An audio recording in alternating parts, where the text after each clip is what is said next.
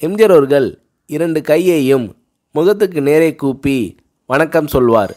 பெரியவர்கள் வந்தால் எழுந்து நின்று வணங்குவார்.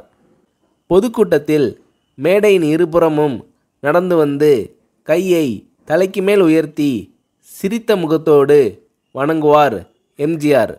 உடனே கூட்டம் ஆறாவரிக்கும்.